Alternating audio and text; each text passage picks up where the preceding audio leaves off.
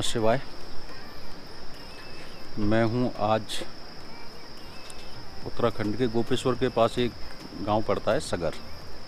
और सगर गाँव से ट्रैकिंग शुरू होती है रुद्रनाथ महादेव की। रुद्रनाथ महादेव जो पंच केदार हैं, उनमें से एक केदार हैं। और यहाँ से करीब 28 किलोमीटर का ट्रैक शुरू होता है। और ये देखो नज़ारे, यहाँ के आज हो रखे हैं ये। मस्त वाले। और ये सामने होटल है, जहाँ पे हम रुके हैं, बिल्कुल नज़ारों के सामने। और ये जो भाभी जी दिख रही हैं, इन्होंने खाना खिलाया है को अभी अभी ब्रेकफास्ट करके चुके हैं। तो अब हमारे साथ हो गया है एक खेल। खेल ये हुआ है कि हम रुद्रनाथ अब नहीं जा पा रहे हैं। और उसके पीछे रीज़न ये है, यहाँ उत्तराखंड में अलर्ट जारी किया हुआ है। हैवी रेन का अलर्ट है। 18 तारीख तक का अलर्ट है, ऐसा भी नहीं है कि आज का हो तो हम कल चले जाएँगे, आज रुक सकते थे, लेकिन 18 तारीख तक, परसों तक का अलर्ट है और वो वन विभाग के लोग हमें ऊपर नहीं जाने दे रहे। और यहाँ से कुछ दिख नहीं रहा है अदरवाइज़ इधर एक पहाड़ है, उस पहाड़ के ऊपर जाके रुद्रनाथ जी का मंदिर है। अट्ठाईस किलोमीटर की यहाँ से ट्रैक है। तो हम बड़ी उम्मीदों से और बल्कि केवल एक ही काम से चले थे कि हम इस बार जाएँगे रुद्रनाथ का ट्रैक करने और रुद्रनाथ का ट्रैक अब नहीं हो पा रहा है। अब हमने दूसरा रास्ता निकाला है। अब हम जा रहे हैं चोपटा और चोपटा से ट्रैक करेंगे तुंगनाथ जी का। वो भी पंच केदार में से एक केदार हैं।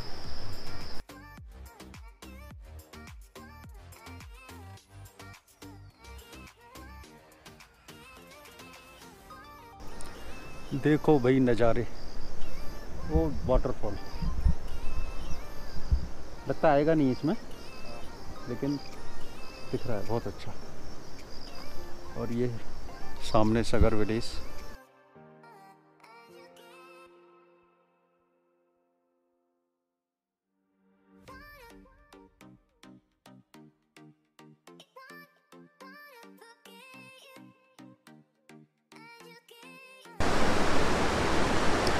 व्यू के चक्कर में बार बार में गाड़ी रोकनी पड़ रही है। और ये देखो व्यू क्या गजब का व्यू है। रिवर के साथ। और ये इधर आ गई बहुत शोर बहुत शोर हो रहा है। आप लोगों को भी आवाज़ आ रही होगी। बहुत, बरसात में तो बहुत ही एग्रेसिव हो जाती हैं उत्तराखंड की रिवर। ये सामने एक ब्रिज है। नरेंद्र भाई ब्रिज पे पहुँच गए कैमरा लेके। इधर से ही हम आए थे। और रुद्रनाथ के, रुद्रनाथ ट्रैक के दो रास्ते हैं। एक रास्ता है सगर से, दूसरा रास्ता है मंडल से। तो ये हम जहाँ खड़े हुए हैं, ये मंडल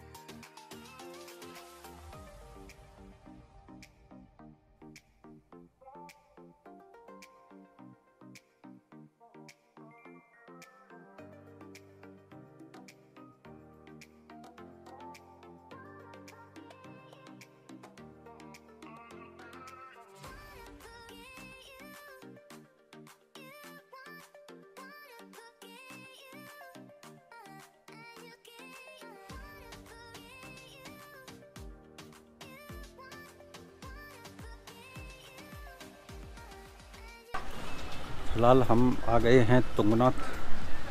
तुंगनाथ बोले तो चोपटा, और यहाँ से तुंगनाथ का ट्रैक करेंगे हम स्टार्ट। और हमें डाउट था कि बाकी के सारे ट्रैक बंद किए हुए हैं। अलर्ट की वजह से तो हो सकता है तुंगनाथ भी बंद कर दिया हो, लेकिन हमने पता किया और तुंगनाथ ट्रैक खुला हुआ है। तो हम आ गए यहाँ पे चौपटा, और अभी बजे हैं ग्यारह। अपना तुंगनाथ जी का ट्रैक स्टार्ट हो गया। और ये पीछे वो छोटा सा गेट बना हुआ है। वही उसकी एंट्री है। और यहाँ पे ये अच्छी बात यह है इस ट्रैक की कि ये पूरा बना हुआ है। ये सारे जो पेड़ देख रहे हो, ये बुरांस के पेड़ हैं। जो मैंने लास्ट ट्रैक किया था, वो मार्च के महीने में किया था। तो इस पर बहुत सारे फूल खिले हुए थे, रंग बिरंगे। और अल्टीमेट व्यू होता है यहाँ का। पूरा लाल गुलाबी जो ये पूरे लदे हुए होते हैं पेड़, उसके बीच में से आप ट्रैक कर रहे होते हो। बड़ा रंगीन सा ट्रैक होता है। लेकिन इस मौसम के भी एक अलग आनंद है। ये इतनी ग्रीनरी है, ये जो पानी चल रहा है, उस टाइम पे कुछ नहीं दिखता। अभी अभी बादल साफ़ हुआ है। पहले उस साइड बादल था तो कुछ दिख नहीं रहा था। लेकिन अभी साफ़ हुआ है तो इधर का व्यू दिखने लग गया। ज़बरदस्त नज़ारे हैं। और इधर अभी बादल बने हुए हैं। तो इधर का जब व्यू क्लियर होगा तो फिर इधर के भी बहुत अच्छे नज़ारे आएँगे।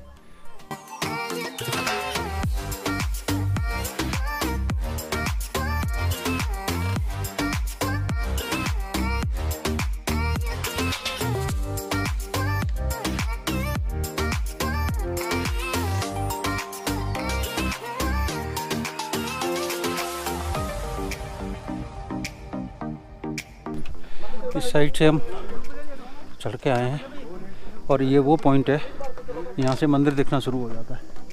वो सामने बहुत बादलों के बीच में जो मंदिर दिख रहा है, वो मंदिर है तुंगनाथ का। अभी हमें वहाँ तक चढ़ाई और चढ़नी है। और बरसात के दिनों में जो नेचर है, उसका यहाँ पे इतना ज़बरदस्त क्रिएशन होता है कि जब हम बरसात में नहीं आते तो ये पूरी पत्थर की दीवार है। लेकिन इस टाइम पूरी पत्थर की दीवार पे ये तरह तरह की यहाँ पे रंग बिरंगे फूल, पत्ती, घास। पूरा ऐसे लगता है कि जैसे ये स्पेशल बनाई हो। लेकिन ये सारा नेचर क्रिएशन है। हम पहुँच गए तुंगनाथ। तुंगनाथ जी का मंदिर रहा और ये यहाँ से दुकानें स्टार्ट हो गई तुंगनाथ जी की। पंच केदारों में से एक हैं तुंगनाथ। पंच केदारों में से तृतीय हैं। यहाँ पे महादेव जी की भुजाओं के दर्शन है।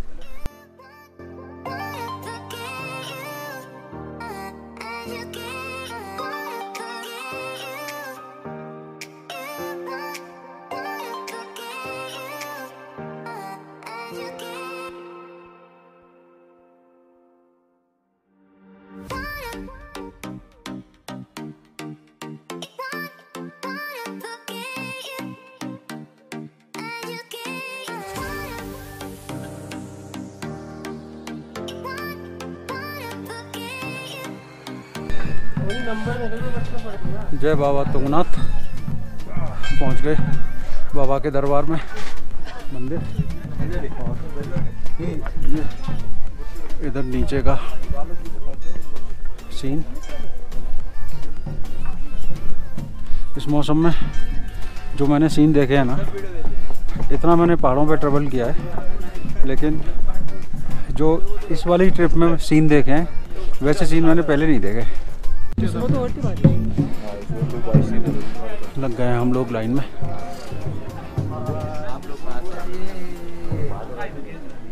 दर्शन कर लिए अंदर जाके। अंदर फोटोग्राफी अलाउड नहीं है तो आपको दर्शन नहीं करा पाए। और ये देखो, ये बाबा का मंदिर। ये यहाँ से एंट्री और ये नंदी महाराज विराजे हुए हैं।